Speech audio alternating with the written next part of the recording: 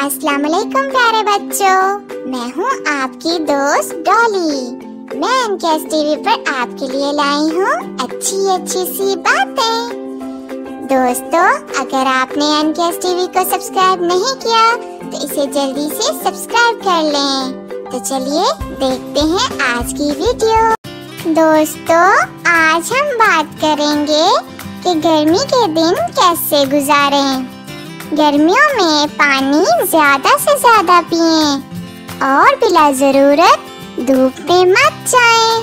प्यारे बच्चों, क्या आप जानते हैं तरबूज और हरबूजे में पानी की मकदार ज़्यादा होती है और इसका इस्तेमाल पानी की कमी को पूरा करता है इसलिए हमें गर्मियों में तरबूज और हरबूजा ज़रूर खाना चाहिए इसके अलावा फल जैसे किन्नू और नींबू वगैरह, इनकी तासीर बहुत ठंडी होती है, इसलिए इनका इस्तेमाल भी गर्मियों में ज़रूर करें। दोस्तों, फलों के अलावा कुछ सब्ज़ियाँ भी ऐसी हैं, जिनकी तासीर ठंडी होती है, जैसे खीरा और ककड़ी वगैरह।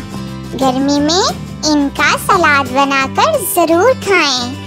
ऐसे मशरूबात का इस्तेमाल ज़रूर करें, जो जिसम से नमकियात की कमी को दूर करते हों।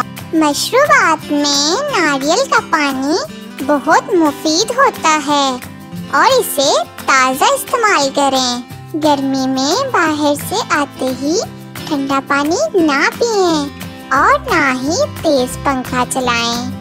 सख्त सर्दी हो या तेज गर्मी, हर हाल में अल्लाह का शुक्र अदा करें। दोस्तों, नीचे कमेंट करके बताइए कि आपको गर्मी में कौन सा फल और कौन सा मशरूब अच्छा लगता है।